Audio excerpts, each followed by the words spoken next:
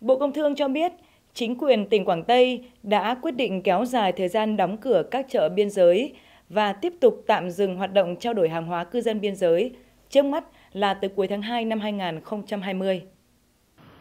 Quyết định kéo dài thời gian đóng cửa các chợ biên giới và tiếp tục tạm dừng hoạt động trao đổi hàng hóa cư dân biên giới của chính quyền tỉnh Quảng Tây sẽ gây ảnh hưởng không nhỏ tới việc xuất khẩu nông sản. Việc này đã được Bộ Công Thương, Bộ Nông nghiệp và Phát triển nông thôn dự tính và liên tục cảnh báo trong những ngày qua. Theo Bộ Công Thương, trước những diễn biến phức tạp và dự kiến còn kéo dài của dịch bệnh, khả năng Việt Nam và Trung Quốc có thể sớm đưa ra những biện pháp hữu hiệu là không nhiều. Trước tình hình đó, Bộ Công Thương đề nghị